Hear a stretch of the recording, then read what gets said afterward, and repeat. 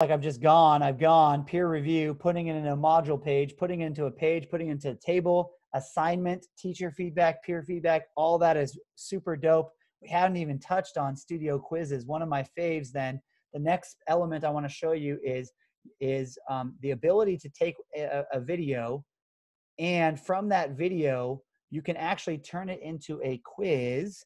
So uh, actually, let me show you what this looks like from a student first, because I, I think it'll make more sense. So here I have a video, uh, video with quiz questions. So I went ahead and created a studio video where the students are then given this uh, link. You can see it's a quiz. I don't have results yet because I am a student and I haven't taken this. So Ellie's gonna go ahead and get started on this quiz question uh, or this quiz, uh, this video quiz. And uh, Hayden and I are talking about ARC Beta, and we've populated this quiz, this video with some questions. So now Ellie needs to go through and watch this. What are we learning about here? We're learning about uh, uh, ARC quiz quizzing. Okay, let's continue.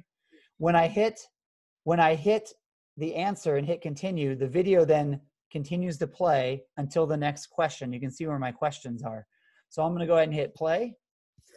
It pauses, and now I have a true false question. This is beta in uh, as of March 13th. I think the answer was true.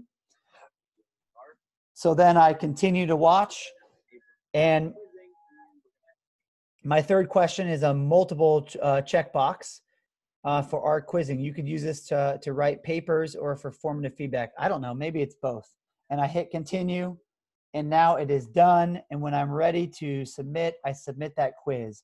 And what's going to happen is it's going to record the results. It's going to provide the correct or incorrect answers for me, right? And um, it's going to take that result and populate that in my gradebook. So that's what's pretty cool about this video with quiz questions. The scores get populated right into my uh, grade book. Here it is right here, video with quiz questions, seven and a half out of 10. So, um, so watching a video as a teacher, let's look at what that looks like. And I need to go back to that video. Let's go to the module page real quick. I'm gonna open Studio up. There we go. And I go to submit a video. Sorry, it's the previous one. I go to the video with quiz questions, which is here. It's already been set up, and I'll show you how to do that. But um, but here are the uh, quiz results that I can see, um, and I can check out the student results right here. And and uh, for all my kids that have taken it, it will show me each one of those results. Or you can get an item analysis once you have multiple result, results go, going in. Um, so that's pretty awesome. It's kind of like Edpuzzle, but what's rad is it goes right into your um, into your gradebook, and um, and uh, populates those scores you can see right here into your your SpeedGrader. So pretty awesome. Let me show you how you set up a video quiz. The first thing you have to do is you actually set it up through the Studio Global navigation here. So you need to make sure your video is um, is already set up through global navigation, which uh, I have right here. And, um, and so once you have a video, you can then turn it into a quiz by clicking the three dots and saying create quiz. From here, you give it a title, find the center of mass, uh, and description. Can you find the center of mass? Um, and you can choose to hide the question markers in the timeline so kids don't know when and where those questions are going to pop up. I'm going to leave it off for now and let them see it. So then as you watch the uh, video, you can then click this little plus button. You see that little plus button? You click that little plus button and it gives you three options, multiple choice, true, false, or multiple answer. Right now, those are the only three you get. So what, you know, what happens next? The board falls, right? Uh, the board is balanced. And so they have uh, they have multiple options. You can add additional options if you need more uh, than what you want. You can vary the points. So if they answer the first one, they get one point. If they answer the second one, you know they get two points and they get one point if they answer that so you have lots of options other option right zero points for that one so that's pretty neat you can shuffle the choices just so it's just out of order right um, or lock the order that they're in um, you can then uh, provide additional feedback here so if they get it correct or incorrect uh, or just general feed- feedback, regardless whether they got it correct or not. You could provide additional feedback there. This is much like the options you have when you create a normal quiz question. And then you hit save, and you notice it places a marker, boom, right there in the body of that.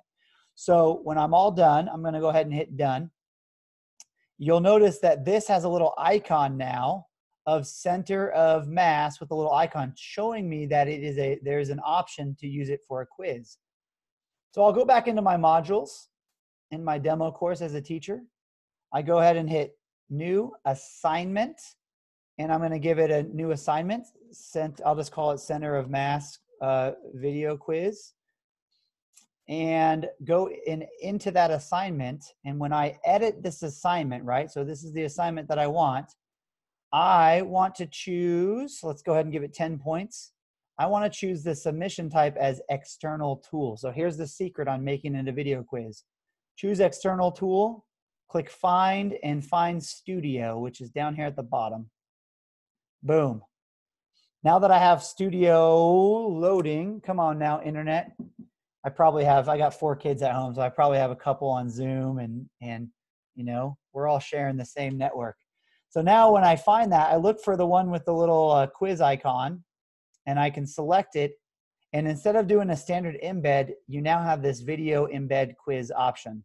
And if you created multiple versions of it, then you have, or if it's in different courses, then you have, you can choose the, the, the quiz that you'd like. You hit embed um, and hit select, choose a due date. I like due dates and hit save and publish. Now I have that studio quiz for center of mass ready to go for my students. I'll go ahead and swipe over to my students in my modules page. And on their homepage, they should see this new center of mass video quiz.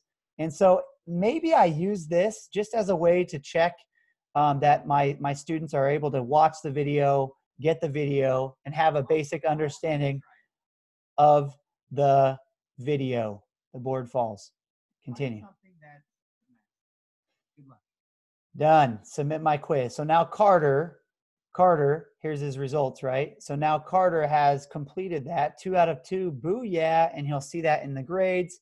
And under SpeedGrader, you'll see that Carter should have, I may need to refresh, should have um, his, his grades, come on, populate over here, uh, submitted in just a moment.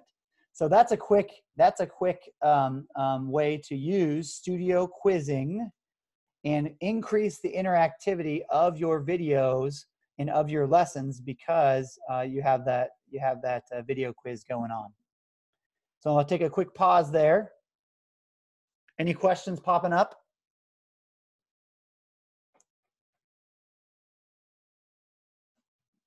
I'm not seeing any, Brad. Awesome. We're good. Okay, so um, that's pretty intense for first guys i like i need to pause for a second because that that that's pretty intense what, what i just threw at you. Um, studio assignments uh, embedding those assignments in the like the instructions using the comment uh, as part of the studio. So the kid actually submits the video to you rather than you making the video and them commenting on it. It's they make the video you comment on it or if you get real crazy right using the peer review option to let students comment on other students' submissions. Like, you know, that's like that that's a whole bunch of wins there and can take a lot of time to sort of master those skills. I don't uh, I don't wish for you to go back and try to do all of these out of the gates. I don't. I think start start small. Start with the first one. Start by just creating video instructions and embedding those into your into your um, pages Okay. So start there. And then you can move to where you make an assignment where the kids are submitting a video back to you so you can provide feedback to them. And maybe at the very end, if you're feeling like crazy awesome and you got this, then you can try the, the, the peer review where students submit and then the, the, the, the other students are, are giving Uh, uh, feedback through that through